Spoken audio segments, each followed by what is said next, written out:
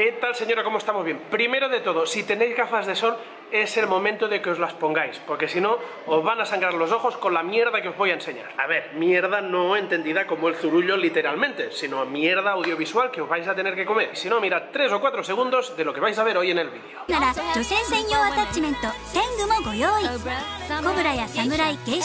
Ay, madre mía, que esto se nos va de las manos y ya no hay vuelta atrás. Ya sabéis que estos días estoy en Lanzarote, en el Sands Beach, entrenando un poquito para la Power Iron Force Madrid-Lisboa, corriendo un poquito, dándole a la bici, surfeando, nadando, trabajando. Y sí, sí, estos días voy tan liado que no me da tiempo ni para darle al manubre. Total, que hoy antes de comer estaba ahí contestando unos mails, total, que paso por YouTube, veo el vídeo que subí ayer y YouTube me sugiere un vídeo. Solo os voy a hacer un titular. El vídeo va del palo selfie definitivo y resumido en tres palabras, pato, rabo y japo. Póngase el cinturón, señorita, que vienen curvas. Primero de todo, para los que no viváis en este universo, voy a contaros que es un palo selfie, que como bien dice su nombre, es un palo para hacerse selfies. Lo que vendría a ser, por ejemplo, esto. Bueno, sin ir más lejos, este mismo palo yo lo utilicé para hacer los 800 kilómetros del Camino de Santiago, para cruzar la jungla en Costa Rica, para los 240 kilómetros en autosubsistencia en la Maratón de Sables, para hacer 3 horitas 10 en la Maratón de Chicago y para pasar las más putas que caen en los 100 kilómetros non-stop en Caballs del Ben, que ya son ganas también de correrse 700, 800 o 1000 kilómetros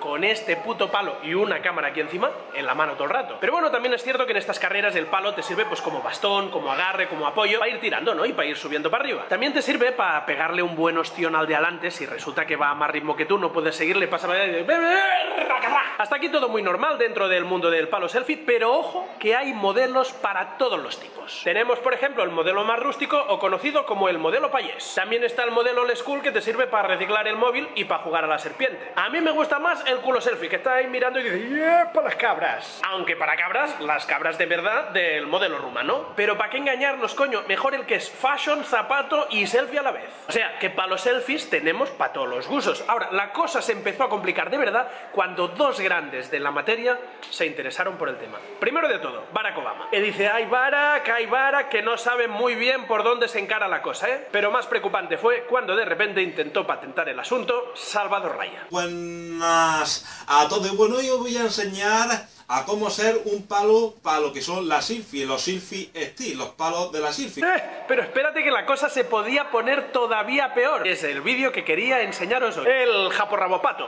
más o menos, para hacer selfies.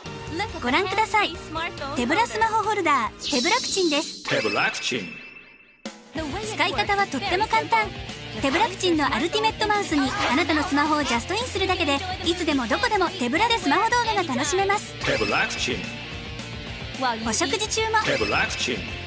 プライベートも仕事中だって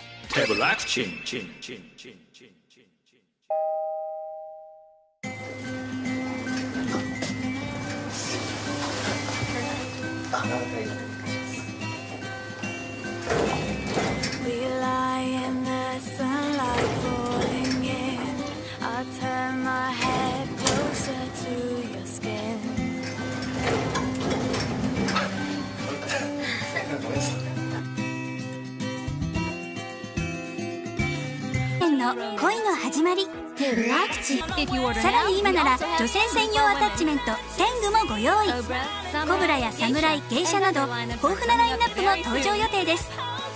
2015年腕の疲れから解放する手ぶらくちんと